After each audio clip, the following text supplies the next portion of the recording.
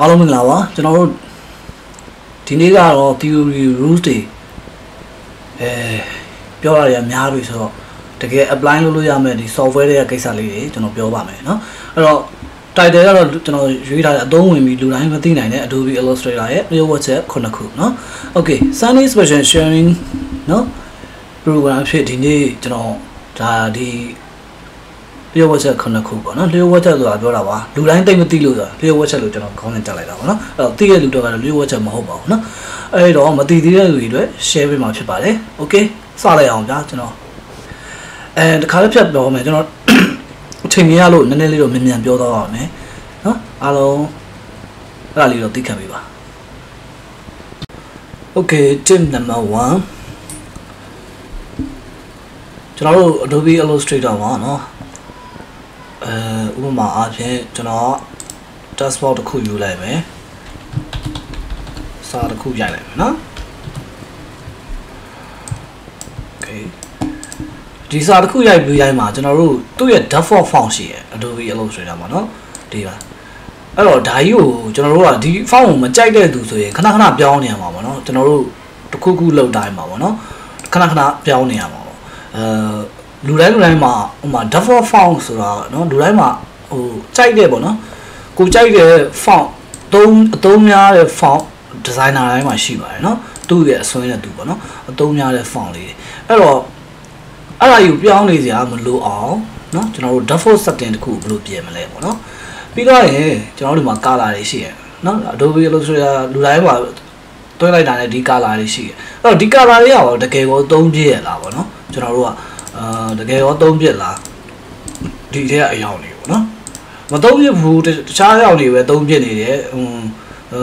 ဒီကနေပါတစ်ခါအဲဒီအယောင်ပဲ3ပြစ်တာများတယ်အဲ့ဒါမှမပါဘူးပေါ့နော်အဲ့တော့ဒီ default setting တွေကိုဘယ်လိုပြင်မလဲပေါ့နော်နော်ပြီးတော့ရင်ကျွန်တော်တို့ size ပေါ့လေ document ရဲ့ size ပေါ့နော်အဲ document size ရှိမယ်ပြီး color mode တွေရှိမယ် resolution တွေရှိမယ်ပေါ့နော်အဲ့တော့အဲ့အဲ့ဒါကိုကျွန်တော်တို့ဘယ်လိုလုပ်မလဲပေါ့ကျွန်တော်အဲ့ လုံလေးလေးကိုကျွန်တော်ခုရှင်းပြပါမယ် okay ကျွန်တော်ဒါပိတ်လိုက်မယ်အဲ create new ပေါ့နော်အာကျွန်တော်ကတော့ဒီမှာအဲ full HD size ပေါ့နော်1920 1080เนาะ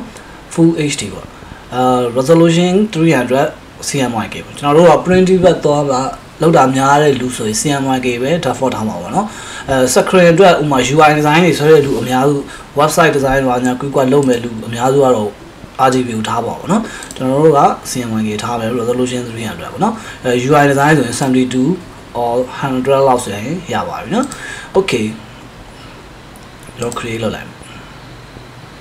okay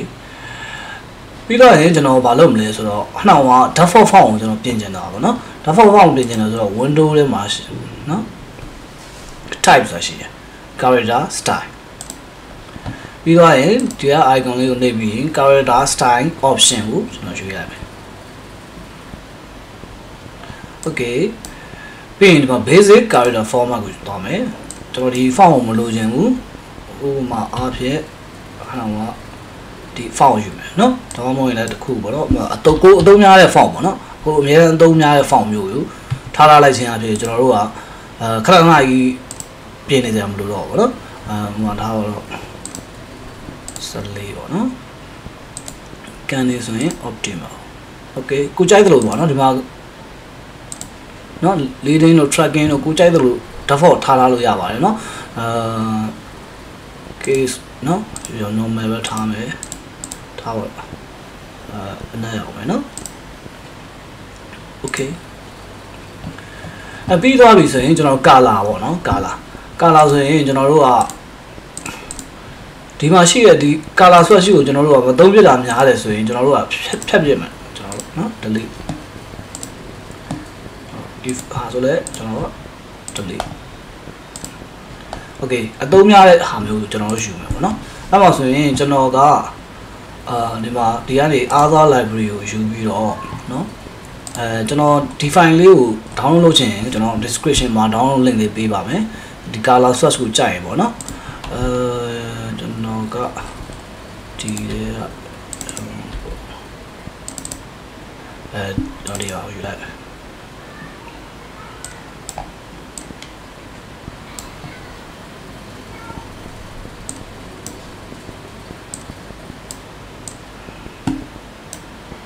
อืม shift ထိတာပါเนาะ shift နေတာပြီးဒီအောက်ကိုတစ်ချက်နှိပ်လိုက်ရင်ဒါအကုန်လုံးပြီးတော့ရယ် ကျွန်တော်တို့ကအာ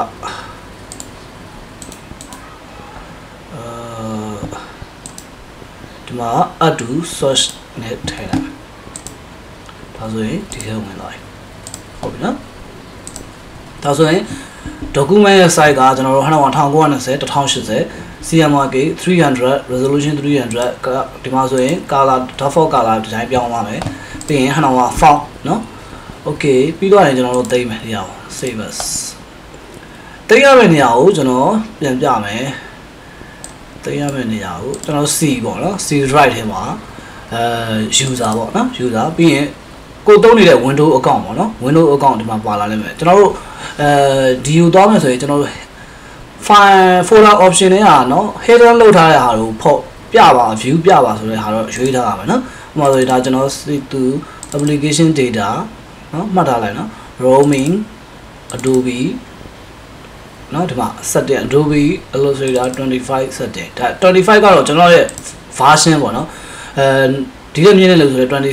25.5ညာတစ်ခုဖြစ်လာမယ်နော် setting ဒီထဲကိုသွား x64 okay ပြီးတော့ရင် new document profile သွားမယ်နော် new document profile အဲ့ဒါမှာကျွန်တော်ကဒါပါတော့အဲဒါက logo တွေဆွဲမယ်ဆိုရင်ကျွန်တော်ဒီ ဒီ template နဲ့ဆွဲမယ်ထားပါတော့နော်အဲ့တော့ logo ဆိုပြီးတော့ကျွန်တော် save လုပ်လိုက်မယ် okay okay save ဖြစ်သွားပြီဆိုရင်ကျွန်တော်တို့ဘာလုပ်ရမလဲဆိုတော့ illustrator ကိုပိတ်ရပါမယ်နော်ပိတ်ပြီးမှပြန်ဖွင့်မှရပါမယ် okay okay ကျွန်တော်ဟိုမှာပိတ်ပြီးတော့ပြန်ဖွင့်လိုက်ပါပြီဒီမှာ create new နော် create new ကျွန်တော်ဒီမှာ print ထဲမှာနော်ဒီမှာ logo ဆိုပြီးတော့ template တစ်ခုပါလာပြီနော် template တစ်ခုပါလာတယ်ဒီဟာကိုရွေးလိုက်တာနဲ့ size လည်းဒီမှာ CMYK 300အားလုံးလုပ်ပြီးသား okay create okay အဲဆိုရင်ကျွန်တော်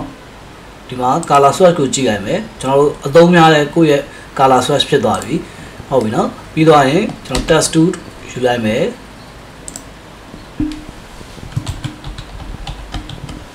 တော်ရိုက်လိုက်မယ်အဲ့တော့ကျွန်တော်အများဆုံး3 list သုံးထားရှိတဲ့ font ကိုကျွန်တော်ရွေးလိုက်တဲ့အတွက်ကျွန်တော်ချိန်နေစရာမလိုတော့ဘူးပုံမှန်အတိုင်းဆိုရင်ကျွန်တော်တို့ကဒီ font ကသူ့ရဲ့ default font ဖြစ်တဲ့အတွက်ကျွန်တော်တို့မကြိုက်ဘူးဆိုတော့အများအားပြောင်းလဲနေရတယ်နော်အဲ့တော့အဲ့အဆင့်လေးကြော်သွားတာပေါ့နော် Okay tip number 2ကဘာလဲဆိုတော့ကျွန်တော်ဒီနှစ်ခုကိုကြည့်ကြည့်အောင်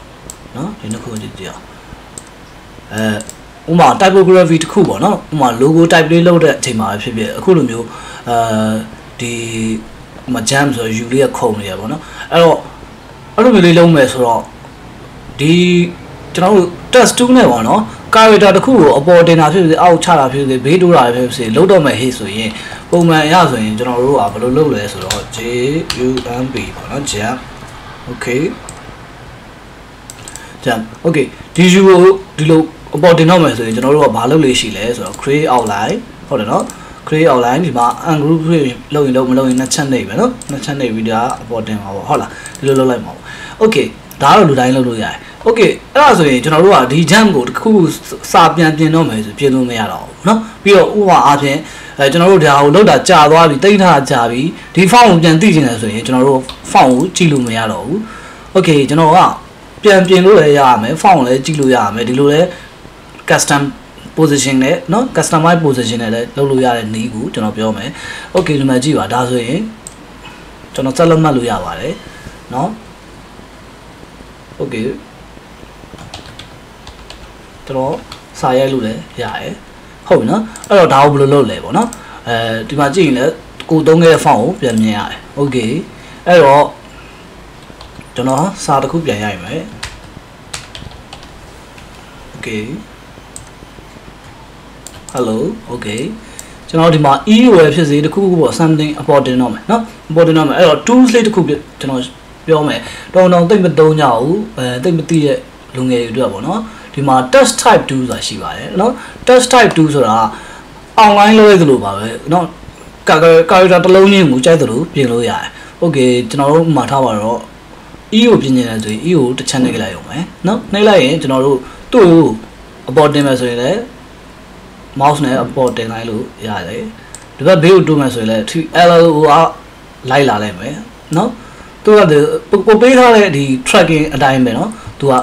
နော်လိုက်လာလိုက်မယ်ဟိုဘက်တိုးမယ်ဆိုလည်းလိုက်လာလိုက်မယ်အောက်ဆင်းလည်းရတယ်ဘလို့သွားမလဲကိုဘလို့ထားခြင်းလဲ okay ဒါဆိုရင်ကျွန်တော်ပြန်ပြင်ခြင်းလည်းပြင်လို့ရတယ်ဟုတ်ပြီနော်ပြန်ပြင်ခြင်းလည်းကိုကြိုက်တာပြင်လို့ရတယ်ဟုတ်ပြီနော်အဲ့တော့အဲ့ test type 2လို့ခေါ်ပါတယ်နော် นาะဒါပြီးကျွန်တော်ဥမာ O ထပ်နေပြီးတစ်ချက်နေပြီးလေအဲ့ဆိုတကယ်လို့ rotate လိုက်နေတယ်ဆိုရင်ဒီအပေါ်မှာရှိတဲ့နော် icon လေးကနေ rotate လိုက်လို့ရတယ်ဆိုကျွန်တော်တို့ logo type လေးတွေเนาะ custom typography လေးတွေလုပ်ပြီးဆိုရင်ဒါလေးကအသုံးတက်ပါတယ်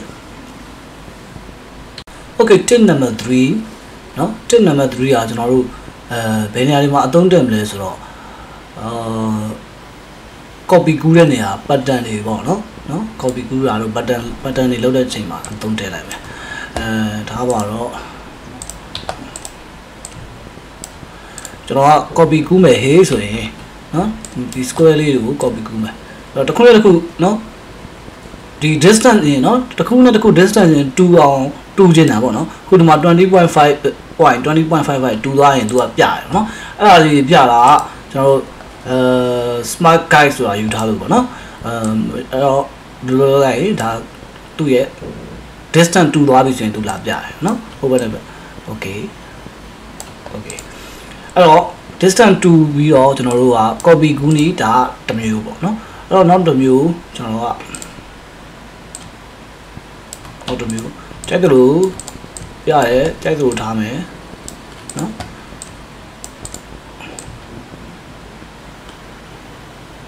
okay ထားပါတော့ ဒီမှာဆိုရင် distance တွေမတူဘူးเนาะအဲ့တော့ကျွန်တော်တို့ဒီမှာဆက်လက်မှတ်ပြီးရင်ကျွန်တော်ဒီမှာ range ထဲမှာเนาะ horizontal distribution center okay ဒါဆိုရင်လည်း distance ညင်တူသွားတယ် okay ဒါကနောက်တစ်မျိုးပေါ့เนาะ okay အဲ့ဒီထက်ပိုလွယ်တဲ့နီးเนาะနောက်တစ်ခုကကျွန်တော်ဒီမှာ copy ကူးလိုက်ပဲကျွန်တော်လိုချင်တဲ့ distance ရောက်ပြီလားရောက်ပြီဆိုရင်ရက်လိုက်မယ်ဟုတ်ပြီเนาะရက်ပြီးရင်ကျွန်တော် keyboard ကနေပြီးတော့ control D control D control D okay အားလုံးကနော်ဟုတ်ပြီကျွန်တော်ဒါကိုပဲဆက်ပြီး copy ကူးချင်တယ်ဘယ်လောက်လိုချင်တာလဲအကွာဝေးရောက်ပြီဆိုရင်ကျွန်တော်ရက်လိုက်မယ် control D control D control D ဆိုတော့ဒါကအလွယ်ဆုံးနည်းလမ်းပေါ့နော်အဲ့တော့ဒီ shortcut လေးကိုမသိတဲ့သူတွေအတွက်မျှဝေတာဖြစ်ပါတယ် okay tip number 4နော်4 tip number 4ကဘာလဲဆိုမပြောခင်ကျွန်တော်တစ်ခုလုပ်ပြမယ်သိပြီးသားလူကတော့ဟိုဘာမှမဟုတ်ပဲမသိတဲ့လူတွေအတွက်ကြတော့ဒါဟိုက မျက်လက်ပြလိုက်တယ်လို့ဖြစ်သွားတယ်မယ်အဲကျွန်တော်ဒီမှာအခု shape ပြရနေပြီးတော့ကျွန်တော် polygon tools ကိုယူထားရနော် okay ကျွန်တော် drag ဆွဲလိုက်မယ် drag ဆွဲလိုက်မယ် okay ဟောနော်ဟောတိပြီးသားလူတော့ကမှမဟုတ်ဘူးမသိရင်တော့ဒါမျက်လက်ပြလိုက်တယ်လို့ဘယ်လိုဆွဲသွားတယ်ပေါ့နော်အဲတခုချင်း copy တာတကယ်တော့ဒီမှာကြည့်ကြည့်ပါနော်တခုချင်းကိုနော်တစ်ခုချင်းတစ်ခုချင်း အများကြီးဆွဲသွားတခါလဲဆွဲသွားနော်နော်ဒီမှာကြည့်သူပိုလီဒီပိုလီဂွန်လည်းအများကြီးပဲဘယ်နှခုရှိမှန်းတော့မသိအောင်အများကြီးဆွဲသွားအဲ့တော့ဘယ်လိုမှကြည့်ချင်း F7 F7 မှာကြည့်လိုက်ပိုလီဂွန်လည်းအများကြီးပဲတွေ့လားအများကြီးဆွဲသွားတခါလဲနော်အဲ့တော့အဲ့ဒီ key လေးကကျွန်တော်တို့ဘယ်လိုလုပ်တာလဲဆိုတာကျွန်တော်ပြောပြမယ်အမ်ကျွန်တော် polygon ပြန်ရင်လိုက်မယ် keyboard မှာအဲအဲ့ key နာမည်ပါခေါ်လဲ tilde လား tie key လို့လည်းခေါ်တယ် tilde ဘောနော်ဟို Spanish ကားနဲ့တူတာပဲထားပါတော့ tilde ဆိုတာ1ရဲ့ဘယ်ဘက်ကနော် escape ရဲ့အောက်က key လေးပေါ့နော်အဲ့ key လေးနော်အဲ့ key လေးကိုကျွန်တော်အဲလောလောဆယ်မနှိပ်သေးဘူးကျွန်တော်ခု mouse နဲ့ပဲ track ဆွဲမယ်နော်လိုချင်တဲ့ size ပုံစံမျိုးရပြီဆိုရင်အဲ့ key လေးနှိပ်ထားပြီးကျွန်တော်တို့မကြည့်လှည့်လို့လည်းရတယ် track ဆွဲသွားရင်အဲ copy အများကြီးပွားသွားလိမ့်မယ် okay ဒါကတော့နေရာကအသုံး သုံးကြရတော့မလို့ပါဘူးဒါပေမဲ့အသုံးကျင်လာတဲ့သုံးရမယ်လိုတဲ့ခါကျရင်ကျွန်တော်တို့ copy ကူးပြီး rotate တွေလှည့်ရမယ်ဟဲ့ဆိုရင်ဘလို့မှအဲ့လိုအလုပ်တွေရှုပ်သွားမှာပေါ့နော်အဲ့တော့ဒါအလွယ်နည်းလေးပေါ့နော်ဒါလေးလည်းမှတ်ထားလို့ရပါတယ် okay tip number 5အဲ tip number 5ကျွန်တော် shortcut လေးတစ်ခုကြောင်းပြောပါမယ်နော်အဲအခုကျွန်တော်ဒီမှာ rectangle လေးဆွဲလိုက်တယ်နော် rectangle လေးဆွဲလိုက်တယ်အဲကျွန်တော်တို့ဒါကို stroke stroke ပြောင်းမယ်နော် အဲ အဲစုပ်ပြောင်းမယ်ဆိုရင်ဒီကနေကျွန်တော်ပြောင်းအောင်ပါပေါ့နော်ဒါအမြန်ဆုံးအမြန်တယ်ပေါ့နော်အဲဒီကနေသွားလုံးမယ်ဆိုရင်ကျွန်တော်တို့ကထိုင်းနေရမယ်ပြီးမှတခါဒီမှာဒါပြန်ရွေးရမယ်โอเคအဲ့လိုဖြစ်တယ်ပါနော်โอเคအဲ့ဒါကိုကျွန်တော်တို့ keyboard ကနေပဲပြောင်းမယ်ဆိုရင်เนาะအဲ့ဒါလည်းအဲလူတိုင်းသိကြမှာသိမှာမလို့တော့ shift နဲ့ x နဲ့နှိပ်လိုက်ရပါတယ်เนาะအဲ့ဒါဆိုရင် shift နဲ့ x နဲ့เนาะတော့နော်နောက်တစ်ချက်နှိပ်လိုက်ရင် outline နောက်တစ်ချက်နှိပ်လိုက်ရင် structure တယ်ဒီမှာအဲ့တော့ကျွန်တော်ဒီမှာဒီလိုပေးထားရလဲရတယ်အဲ something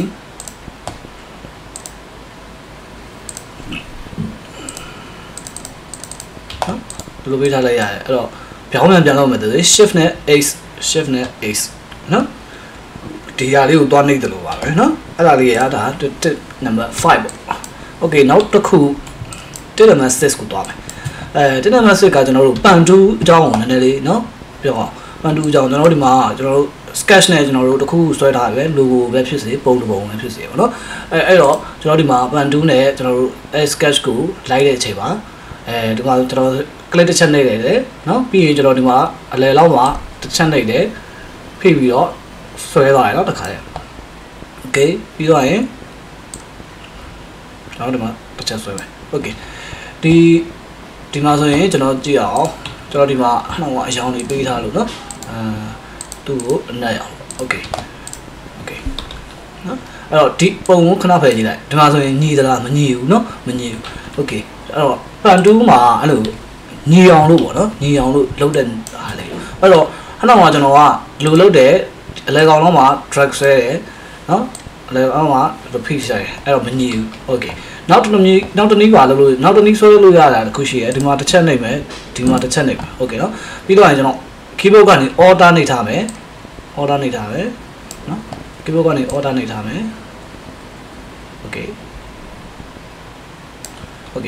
အဲ့တော့ဒါရောညီလားကြည့်အောင်တစ်ချက်ကြည့်အောင်အဲခဏအားထိုင်ဆိုင်ရင်တော့နည်းနည်းလေးပုံညီသွားတယ်ပေါ့နော်ဒါပေမဲ့အဲ့ဒါပုံပြီးကောင်းတယ် အဲ့ဒါပို့ပြီးအဆင်ပြေတယ်ဒေါက်တာနီးပြောမယ်အဲ့တော့ဒါကိုပြန်ဖြတ်လိုက်မယ်ကျွန်တော်အဲ့တော့ကျွန်တော်တို့ပန်တူးကိုအသုံးများကြတယ်ဒါပေမဲ့ပန်တူးရဲ့ဘေးမှာရှိတဲ့ tools လေးကိုတော်တော်မသုံးမိကြအောင်နော်အဲ့တော့ဒီမှာပန်တူးသူ့ရဲ့ဘေးမှာရှိတယ်နော် cover sheet tool okay တစ်ချက်လိုက်အောင်နော်ဒီဟာကိုဘယ်လိုလုပ်ရမလဲဆိုတော့ကျွန်တော်တို့ကထားပါဒီကနေစပြီးဆွဲမယ်ဆိုပါလို့နော်အဲထားပါတော့အဲကျွန်တော်ဒီရပဲစဆွဲမယ်ဒီမှာတစ်ချက်နိုင်မယ်နော်တစ်ချက်နိုင်မယ် ကျွန်တော်အလဲကောင်လောက်မှာသူ့ရဲ့ curve ကိုနော်သူ့ရဲ့ curve တစ်ခုရဲ့အလဲကောင်လောက်မှာတစ်ချက်နေမယ်နော်ပြီးတော့ရင်ကျွန်တော်တို့ဒီမှာဘာမှမလုပ်တစ်ချက်ပဲနော်တော့သူပေါ်ပေါ်နေရနော်တွေ့လားလုံးဝဒါအညီဆုံးပဲအဲ့တော့ဒီနေရာဆိုရင်နော်ဒီနေရာဆိုရင်ဒီနေရာမှာဆိုရင်ကျွန်တော်ပြောရမယ်တစ်ချက်နဲ့ရမှာမဟုတ်နှစ်ချက်နဲ့ရမှာနော်နှစ်ချက်နဲ့ရဘာလို့လဲဆိုတော့ဒီဘက်မှာ curve မဖြစ်တော့ဘူးနော် straight ဖြစ်သွားတယ်နော်အဲ့တော့ corner ရောက်သွားဆိုတော့အဲ့ဒီပဲပေါ့နော် down ရောက်သွားပြီဆိုရင်ကျွန်တော်ကနှစ်ချက်နဲ့ရမယ် okay နှစ်ချက်နေရနိုင်တယ်သူက serve ကူမကွေးတော့ဘူးเนาะ okay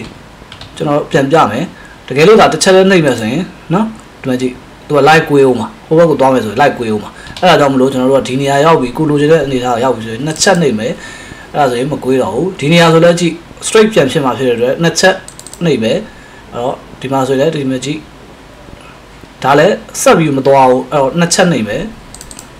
okay အဲ့တော့ဒီမှာဆိုရင်ဘယ်လောက်လောက်မှာကျွန်တော်တို့ အဲထားမလဲပေါ့နော်ဒီမှာဆိုရင်ဒီလောက်လောက်မှာတစ်ချက်ဒီလောက်လောက်မှာတစ်ချက်အဲဒီလောက်မှာတစ်ချက်โอเคတစ်ချက်အားလာဆိုရင်တစ်ချက်မဟုတ်တော့ဘူးနှစ်ချက်ဖြစ်သွားတယ်ဟုတ်တယ်နော် double click double click okay အဲ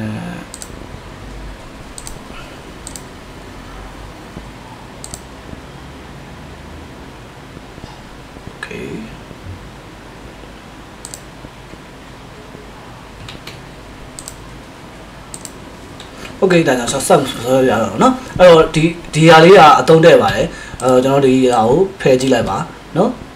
ကျွန်တော်တို့ပို့ပြီး smooth ဖြစ်တဲ့ path ကိုရပါပါเนาะအဲ့တော့ဒီ tools လေးကိုသုံးဖို့မမေ့ပါနဲ့တော်တော်များများကပန်တူးနဲ့သုံးကြတာများပါတယ်เนาะ okay tip number 7 tip number 7ကအဲဒါလေးကလေတော်တော်လေးအသုံးတဲ့ဗျာเนาะအဲအဲ့ဒါကဘာလဲဆိုတော့ global edit လို့ခေါ်တယ်เนาะ အဲသိပြီးသားသိတဲ့လူတွေလည်းသိပါအောင်နော်အဲမသိသေးတဲ့လူတွေအတွက်မျှဝေတာပါအဲ့တော့ global update ကဘာဟိုဘယ်နေရာမှာအသုံးရမ်းတက်လဲဆိုတော့ကအမ်ကျွန်တော် update တွေအများကြီးနဲ့အလုပ်လုပ်ပြီဆိုရင်နော်အဲကျွန်တော်ကခုတာဆိုရင် UI ပေါ့နော် UI design sample လေးနဲ့ကျွန်တော်ပြမယ်ဥပမာဘယ်လိုနေရာမှာအသုံးတက်မလဲဆိုတော့ flyer တွေပေါ့နော် flyer ဆိုလဲ upload တွေအများကြီးနဲ့ကျွန်တော် flyer လုပ်ရင်လုပ်မယ်ဒါမှမဟုတ်စာအုပ်ဆိုရင်စာအုပ်ပေါ့နော် catalog catalog တို့နော်အဲ့တော့ ဥမာထားပါတော့ကျွန်တော်တို့ဒီနေရာမှာ logo ရှိမယ်ဟုတ်ပြီနော်ဒီနေရာမှာဒါဆိုရင် UI ဖြစ်တဲ့အတွက်ဒါဒါဆိုရင် menu icon လေးပေါ့နော်ဒီမှာသူ့ရဲ့ button လေးရှိမယ် okay အဲ flyer ဆိုလဲသူ့အနေနဲ့သူရှိမှာ logo ရှိမယ်အမှနော်အဲ့တော့ तू ကဘာလို့ဆိုလိုတာလဲဆိုတော့ကျွန်တော်တို့ upload တွေအကုန်လုံးမှာအများအားလို့ပါနေမှာထားပါတော့ header မှာဆိုရင် logo ပါမယ်ဒီဘက် upload မှာလည်း logo ပါဒီမှာလည်းပါမယ်နော် upload 10ခုရှိရင်10ခုလုံးမှာပါမယ်တခြား header တွေ something ပေါ့နော်တူညီတဲ့အရာအားလုံးကိုကျွန်တော်တို့တစ်ခုပြင်တော့မယ်ဆိုရင်ရှိသမျှဟာဥမာထားပါတော့တကယ်လို့ဒီအရာကိုကျွန်တော်ကအဲကျွန်တော်ရဲ့လူလူဒီဟာကအယောင်ပြောင်းရတော့မယ်ဆိုရင် okay ကျွန်တော်တို့ကဒါကိုလည်းပြောင်းရမှာပေါ့ဒါကိုလည်းပြောင်းရမှာပေါ့ဟုတ်လားနော်ဒါကိုလည်းပြောင်းရမှာပေါ့ okay အဲ့လိုဖြစ်ရမှာပေါ့ဟုတ်တယ်နော် အဲ့တော့တစ်ခါလဲပြောင်းတဲ့နီးပေါ့နော်တစ်ခါလဲပြောင်းတဲ့နီး okay ကျွန်တော်ဒီမှာနော်ကျွန်တော်ဒီဟာလေးကိုဆက်လက်မှတ်လိုက်မယ်ကျွန်တော်တို့ဒါ upvote သုံးခုတည်းမလို့လွယ်တာပေါ့နော် like ဆက်လက်မှတ် upvote အများကြီးရှိပြီဆိုတခုပြီးတခုအကုန်လုံးဆက်လက်မှတ်ပြီးမှပြောင်းအောင်ပါပေါ့နော်အဲ့လိုမဖြစ်အောင် global edit နဲ့ပြင်မယ်အဲ့တော့ကျွန်တော်ဒီမှာ click တစ်ချက်နှိပ်မယ်ဒီမှာကြည့်ပါ properties ပန်နေပါနော်မရှိဘူးဆိုရင် windows တွေက properties ကိုခေါ်ပါနော်ကျွန်တော်ဒီမှာတစ်ချက်နှိပ်မယ်ဒီမှာကြည့် step global edit ဆိုတာရှိတယ်နော်အဲ့ဒါကိုကျွန်တော်တစ်ချက်နှိပ်လိုက်မယ်အဲ့ တော့တစ်ချက်နှိပ်လိုက်မယ်ဆိုရင်တော့သူကဘာမှဖြစ်မှာမဟုတ်အဲ့တော့ကျွန်တော်တို့ပြင်ရမှာပေါ့နော် okay ကျွန်တော်ကဒီဟာကိုထားပါတော့ကျွန်တော်ကဟာတော့အရောင်လေးတစ်ခု something ဒါပြောင်းမယ်ဟောဒီမှာအကုန်လိုက်ပြောင်းသွားပြီ okay အဲကျွန်တော်ဒီစာကိုလည်းကျွန်တော် global edit နော် global edit အဲထားပါတော့อืมဟောတော့ဒီရောင်ပဲပြောင်းလာမယ် okay ကြည့်ပါနော်ဒီဘက်မှာပါအားလုံး live ပြောင်းသွားတယ်နော်အားလုံးလိုက်ပြလာအဲ့တော့ဒီ features လေးလည်းအရင်အသုံးတက်ရယ်နော်ကျွန်တော်တို့ဒီ upload တွေအများကြီးနဲ့အလုပ်လုပ်ရပြီးဟေ့ဆိုရင် upload တိုင်းမှာတစ်ခု edit လုပ်ပြီးဟေ့ဆို upload တိုင်းမှာအကိုလိုက်ပြင်နေရတာအရင်ကြာပါတယ်အဲ့တော့ကျွန်တော်ဒီမှာဆိုရင်ဒီရအောင်ဆိုရင်ကျွန်တော်ဒီထဲက task ကိုပဲနော် task ကိုပဲအဲကျွန်တော် ungroup လုပ်မှရမှာနော်အဲ့ဒါမျိုးကြာထားပါတော့ကျွန်တော်ဒီမှာ step global edit နဲ့သွားပြီးမှ days task ကို နှိပ်မယ်ကျွန်တော်ကဒီအောင်ပြောင်းမယ်အဲ့တော့ဒီမှာဒီမှာခုတ်လိုက်ပြောင်းပါတယ်ဟုတ်ပြီနော်အဲ့တော့ဒီ global edit features ကကျွန်တော်တို့ကအဲကျွန်တော်ဒီမှာတစ်ချက်နေပြီးတော့ဒီမှာကြည့်ပါနော်ဒီများလေးကိုနှိပ်လိုက်ရင် appearance ရဲ့ site ရယ်နော်ကျွန်တော် appearance ပဲယူထားမှာပေါ့နော် size ပါယူရင်တော့ဥမာဒီ site နဲ့ဒီ site နဲ့မတူတော့ဘူးဆိုသူက live မပြင်တော့ဘူးသူနဲ့တစ် site တည်းဖြစ်နေမှာနော် တစ် site တည်းဖြစ်နေမှာသူက live ပြင်မယ်ဆိုတဲ့သဘောပေါ့နော်ပြီးတော့နောက်တစ်ခုကကျွန်တော် copy ကူးကူးထားတဲ့သဘောပေါ့နော်ကျွန်တော်ဒီမှာကြည့်ပါတော့ဒီကျွန်တော် upload အသစ်တစ်ခုခေါ်လိုက်မယ်နော် new upload ခေါ်လိုက်မယ်နော်ခေါ်ပြီးရင်ကျွန်တော်အဲကျွန်တော်ဒီဟာကို order order နဲ့နော် drag ဆွဲ copy ကူးလိုက်မယ်ကျွန်တော်ဒီဟာလေးကိုဒီမှာထားလိုက်ထားပြီးရင်ကျွန်တော်ဒီကောင်ကိုကျွန်တော်ကြားပါတော့ကျွန်တော်ဒီလိုဆွဲချဲ့လိုက်မယ်နော်အဲ့တော့ ကျွန်တော်ကဒီမှာ step global edit sorry ဒီများမှာကျွန်တော်က size ကိုထည့်ထားခဲ့မယ်ဆိုပါစို့အဲကျွန်တော်ဒါကိုချိန်မယ်အဲ့တော့ design နဲ့ design နဲ့မတူတဲ့အတွက်သူလိုက်မပြင်တော့ဒီမှာလည်းမတူတော့ဟုတ်တယ်နော်အဲအဲ့တော့ကျွန်တော်ဒီ site ကိုအတူတူထားလိုက်မယ် okay start global edit တော့အရောက်ပြောင်းလိုက်မယ် sorry ကျွန်တော် site ကိုရွေးထားပြီနော်ရွေးပြီးမှအဲအကြောင်းပြောင်းမယ်ဆိုပါစို့ဒါဆိုရင်တစ် site site နဲ့ site မတူတော့ဘူးနော်မတူရတော့သူ live မပြင်ဘူးဒါဆိုရင်တူတယ်တစ် site တယ်အဲ့တော့ site တူတဲ့ဟာကိုပဲသူ live ပြင်တယ်အဲ့တော့ဒီ features လေးရတယ်အသုံးတည့်ပါတယ်နော်အသုံးတည့်ပါတယ် upload တွေအများကြီးနဲ့လုပ်တဲ့အခါမှာတခုခုအယောင်ပြောင်းရမယ် header ကိုဘယ်လိုအယောင်ပြောင်းရမယ်တော့နော် ဟိုကျွန်တော်ဒီ background ကို change နေတယ်ဆိုရင်လည်းရရနော် stack global edit ဒါပေမဲ့တခုတော့ရှိတယ်ဒီ background နဲ့ဒီ background တွေကကျွန်တော်တို့က copy ကူးထားခဲ့ရမှာပေါ့နော် copy ကူးထားပြီး background အတူတူဖြစ်နေပါသူက live ပြောင်းမှာပေါ့နော်အဲ့တော့ကျွန်တော်ဒီမှာကြည့် stack global edit နော်ကျွန်တော် size ကိုဖယ်ထားလိုက်အဲဒီမှာဒီ recolor upload နဲ့ကျွန်တော်ပြင်ကြည့်လိုက်မယ်နော် recolor over လည်းကျွန်တော်ဒီမှာကြည့်ဒီလိုသွားလိုက်မယ်ဆိုရင်အားလုံးလိုက်ပြောင်းသွားတယ် okay အရန်ကောင်းတဲ့ feature လေးပါနော်ဒါပေမဲ့လူတိုင်းသိမသိကြပါဘူးအဲ့တော့မျှဝေတာဖြစ်ပါတယ်အဲ့တော့ဒီနေ့ဒီလောက်ပဲကျွန်တော်တို့နော် Sunday special sharing အတွက်ကဒီလောက်ပါပဲအဲ့တော့ခင်ဗျားတို့အတွက်အသုံးတက်မယ်ထင်ပါတယ်နော်မသိသေးတဲ့လူတွေအတွက်အဲအသုံးတက်တယ်အသုံးကြတယ်ဆိုရင်ထုံးတဲ့တိုင်းကျွန်တော်ရဲ့ channel ကို like share subscribe လုပ်သွားကြပါအောင်ဗျာကဲကျေးဇူးတင်ပါတယ်အားလုံးဂရုစိုက်ကြပါ